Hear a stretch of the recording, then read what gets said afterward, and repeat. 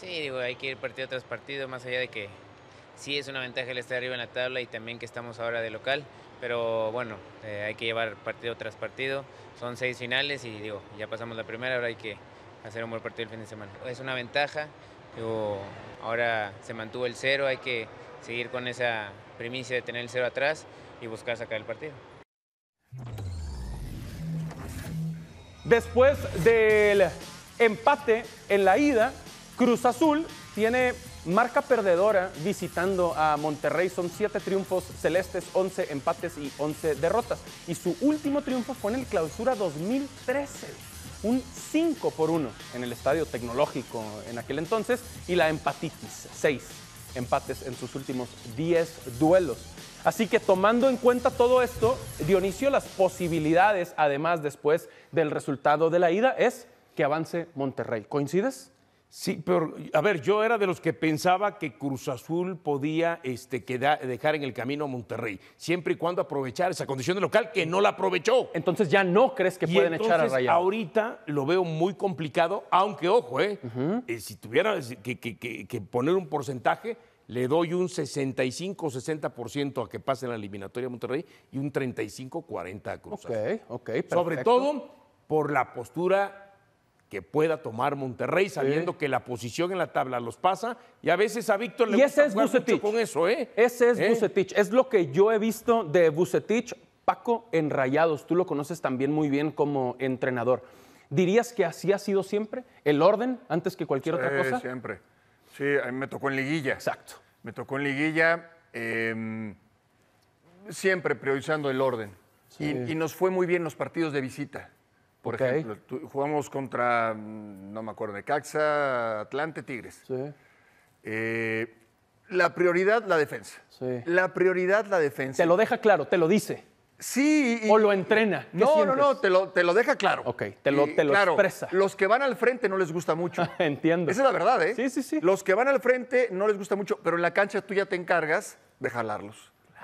¿Me explico? Oye, ¿qué no escuchaste lo que te dijo el técnico? No, no, no, tienes que venir, tienes que pararte enfrente del balón, tienes que pararte enfrente de la, la- de Buena, lateral. buena. Eso ya te corresponde a ti, Sí, sí, al sí. jugador.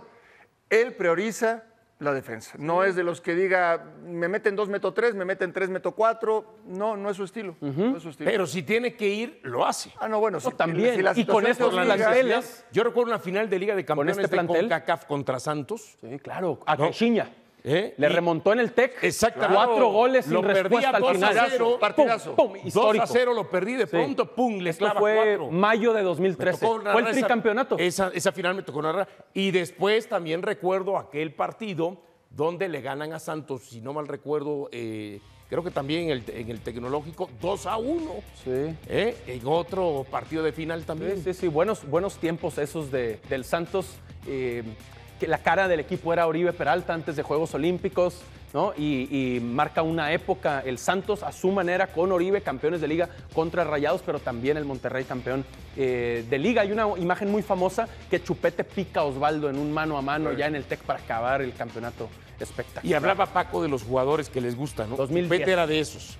Que Ah, claro. Para adelante, ¿no? Por Porque era supuesto. lógico, era Por centro supuesto. delantero, era ofensivo. No, bueno, ahora- es ahí donde Bucetich, a ver, tranquilito, Al Chupete, al Pero- chupete yo no le voy a decir, ven a Ven. marcar. Es No, un- Era un vete a fenómeno, hacer goles. fenómeno. Vete a hacer goles. Fenómeno, claro, claro, claro. Ayuda a tener esos jugadores, ¿no, Mario? No, no, no, no, y aparte, el Chupete Suazo, la época de Monterrey fue brillante del Chupete Sí, Suazo, por brillante. supuesto, por supuesto. Junto con Denigris, los dos Eran, los- eran muy los bien. puntas. Jugaban Muy los, bien dos los dos. adelante. Dos títulos Sí. de liga, tres títulos de CONCACAF. ¿Qué tan arriesgado, Mario, sería salir en el BBVA en Monterrey a pensar en el empate si eres rayados? Eh, para mí es demasiado arriesgado. A mí, la verdad, ¿Tú cómo lo plantearías? no, yo, yo la verdad que lo respeto y es un ganadorazo Por supuesto. y entrenadorazo y tecnicazo. Pero jamás, jamás planearía yo así. Porque el rival, en una liguilla, eh, yo siendo el Potro Gutiérrez, tiene que ir con todo. ¿Desde el primer el- segundo? Por supuesto, es el partido de su vida, de su historia, tiene que arriesgar, aparte tiene que ir a buscar el resultado porque la posición en la tabla está en contra de él. Exactamente. Él tiene que buscar la brillantez ahora. Eh, es momento, ya lo tiene trabajado y sabe que el rival es, si tú al rival lo dejas suelto, Sí. te hacen cualquier gol. Porque Totalmente. son buenos jugadores, los mejores delanteros de la liga. Se la tienen que jugar a Cruz Azul.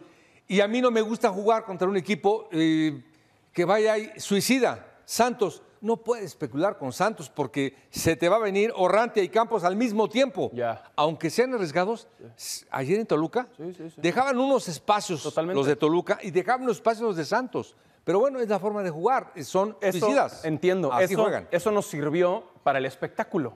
Eso es. Televisivo, espectacular. Encantador. duda, el partido. Luego, como técnico. Pero yo, como enfoque. lateral, tengo a Campos y a Orrantia, yo ahorco a uno de los dos. Sí, sí, sí, los amarras. Porque necesito ¿no? Poquito, primero que marquen. Aparte tenían dos delanteros, que es Zambeso y González, Sí. que hoy por hoy es de los mejores delanteros que hay en México para mí. Entiendo. Los dejas mano a mano. No, no, no, no. Sí, sí, no sí. lo- ahora, no- ahora hablamos de eso. Ya hablaremos de eso. Mientras tanto, sabemos que la última y única derrota del Potro desde que llegó a Cruz Azul fue en Monterrey, 3 por 2, martes 6 de septiembre. Lluvia, un juego ahí diferente por esas circunstancias, por el mal tiempo, etcétera. Lo ganó Rayados 3 por 2. Dionisio, dirías que avanza entonces Monterrey. Diste a entender que ya está todo a su favor. Los ves avanzando. Lo veo ya más a favor. Dionisio Eh, Rayados. pero este, sí, no se puede confiar Monterrey, ¿no? Entiendo. Y ¿Mi no Paco? puedes jugar en esa tablita del tema de voy a jugar al empate con eso es suficiente para mí, porque tú nunca sabes. En el último minuto, una jugada a balón parado, un disparo que rebota en un jugador y lo desvían y ya no Puede alcanza el pasar, portero. por la supuesto. jugada, Dionisio, perdón, la jugada de ayer. Que ni tocan al jugador y penal. Sí, una claro, mala decisión del Claro, árbitro claro. es jugar también, Sí. a ver, no es solamente con el rival, sino también con los imponderables, Entiendo, entre ellos entiendo, el arbitraje. Entiendo. Mi Paco, ¿qué crees que pase en Monterrey y por qué? A ver, eh, la diferencia entre liguilla y la liga, digo que además todos lo sabemos.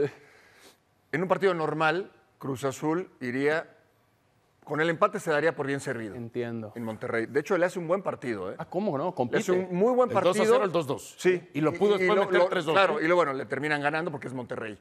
Pero acá no va a jugar con eso. Ya.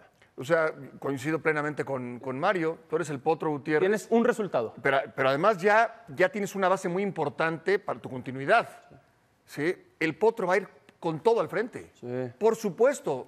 Vas a ver al Cruz Azul más ofensivo de los últimos tiempos. Entiendo, y entiendo por qué Mario decía el partido de su vida, por ahora, Claro. para el Potro. Sí. ¿No sería un error abrirte así contra este no, no, Monterrey? no, no, no, porque de todos modos, aunque no te abras, este Monterrey va a encontrar cómo abrirte. Ok. Entonces, y aunque sea la mejor defensa de Monterrey, tienes que ir a atacarlo. Aquí sí es matar o morir futbolísticamente hablando. por supuesto. pero además el Potro no tiene nada que perder. Entiendo. Ya está lo que hizo.